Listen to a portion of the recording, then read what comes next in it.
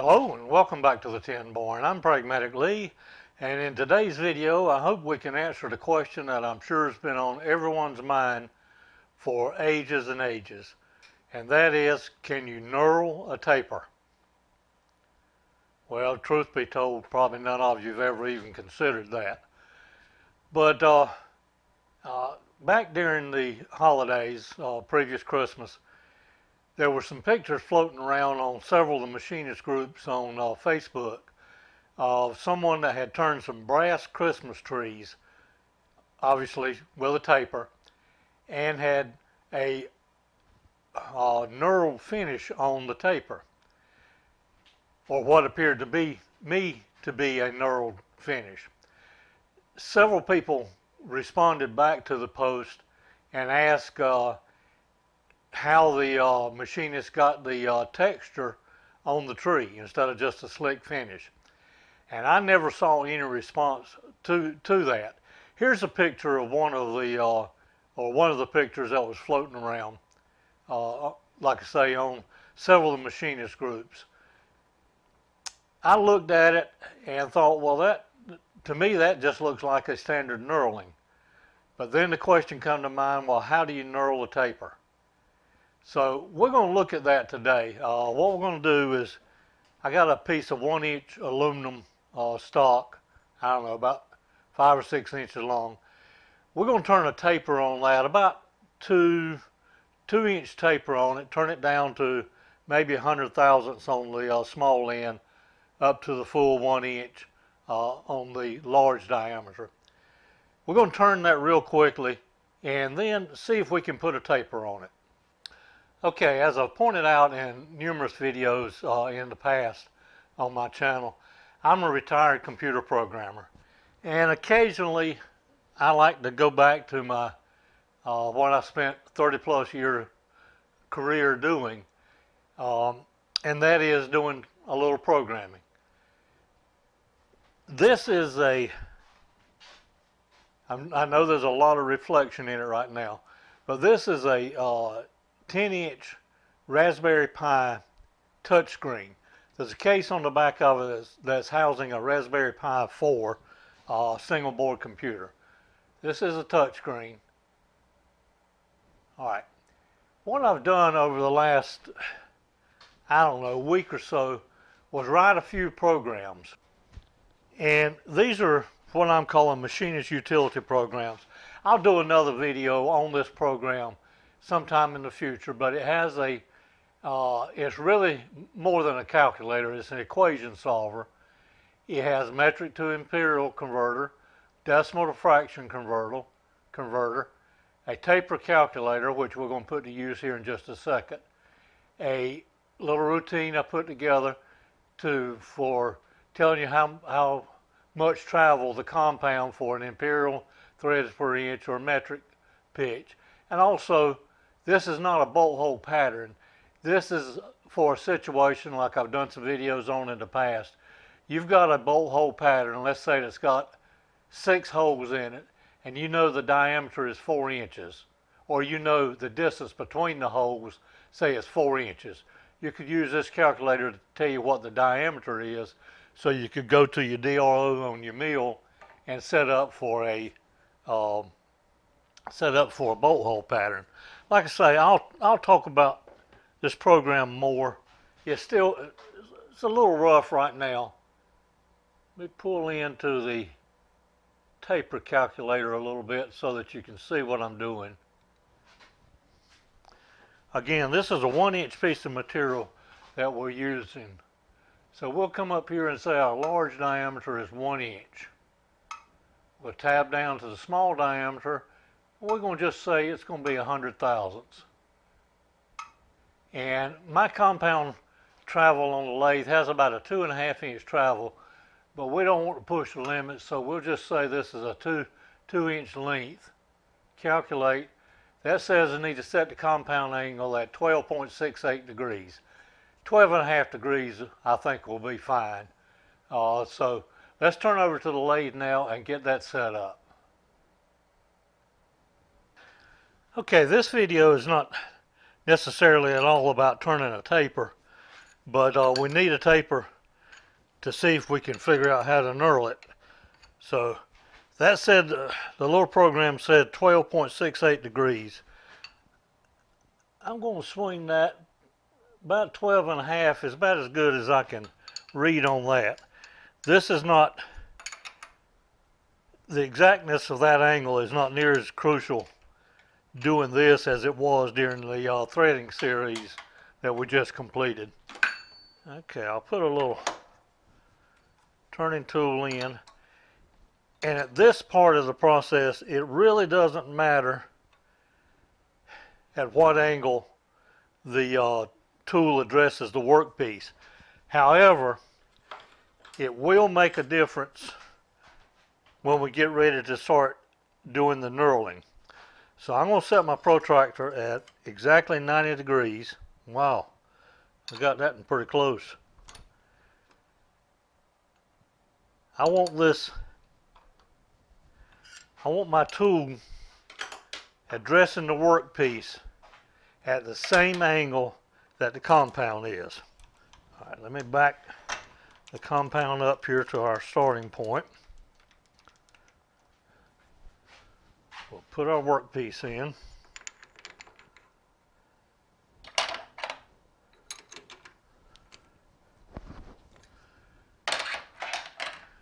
And what I'll do is bring this up. I've got the compound all the way uh, to this extent or to this limit. I'll mark or I'll lock the uh, carriage down right here.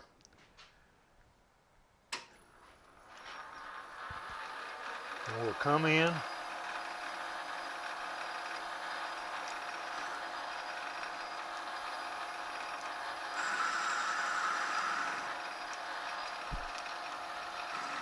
And over here, I'm going to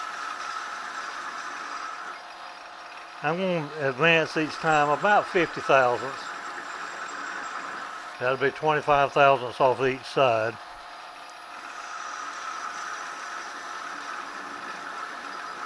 And I'm going to continue to cut this taper until we're down to about a 100 thousandths down here. It really doesn't matter for the purpose of this video. And I'm not going to worry about trying to end with such a, a real fine finish on here. I'm just I'm going to be turning the compound by hand over here. We're going to knurl it, so it doesn't really matter, or we're going to attempt to knurl it, so it doesn't really matter if this is an extremely smooth finish.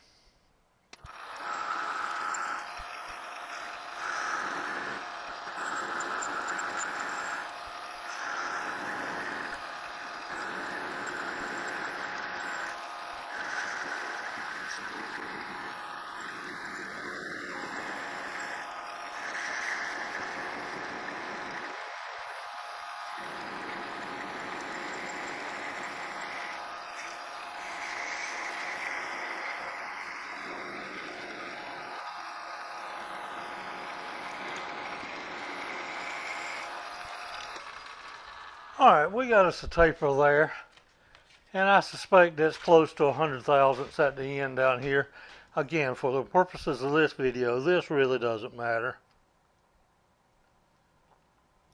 It's 130 thousandths, but that's close enough.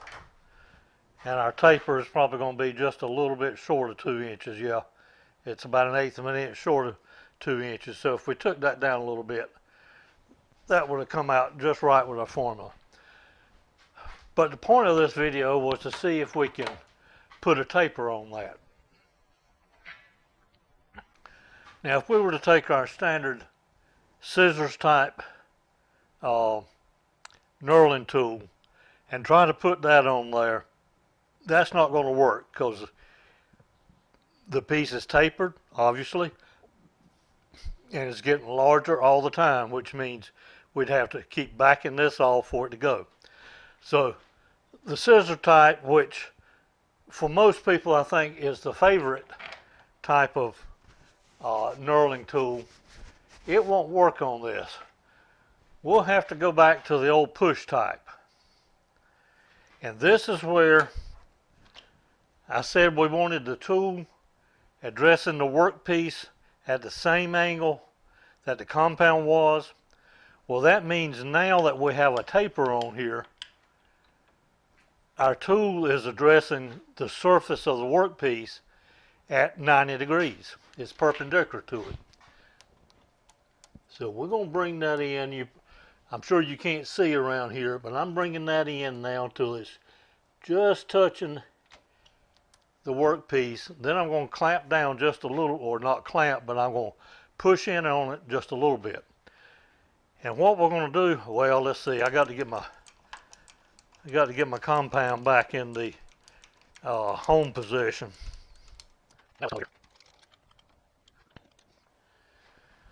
Now, just like we were advancing the compound to cut the taper, we're going to advance this knurling tool to place a knurl on here. Now, you won't be able to see that knurl until it starts coming out, until our workpiece starts coming out here. I've done several of these You'll see later in the year uh, where I actually did some Christmas trees. I'm not going to talk much about that right now. But I learned in that process that as you go up here, it will start to get just a little bit tighter on there. So you may see me back this off a couple thousandths at the time as it starts not binding, but as it starts getting a little tighter in. All right, so let's, I got my RPM turned down a little bit. Let's come in now. And then just gradually start feeding in to our compound, just like we were cutting a taper. And again, if I start feeling it getting in much, if any of a bind, I'll just back the cross slide over just all, out just a little bit. The WD-40 on there simply helps to, for those chips to, to get out of the way or not stick to the knurling wheels.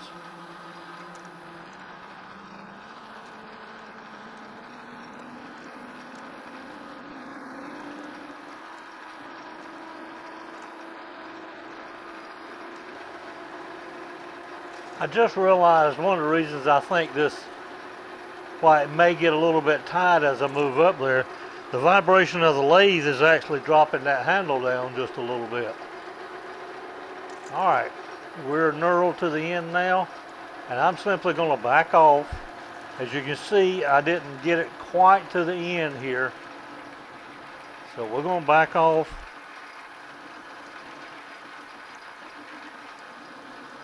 Keeping our wheels turning all the time on the knurling tool.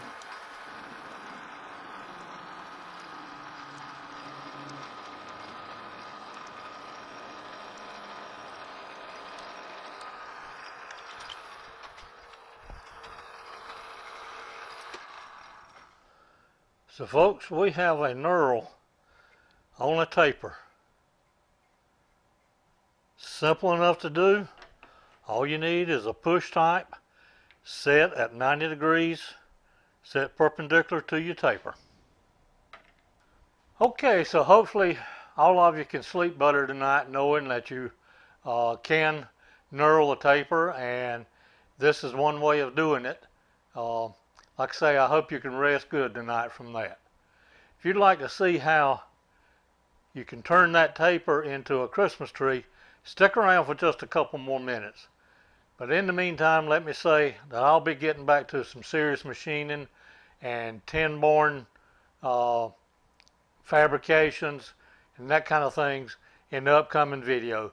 This was just kind of a little filler that um, kind of been on my mind and I thought I'd share it with you. You guys take care. Stand by for the Christmas tree. But I'll see you on the next video.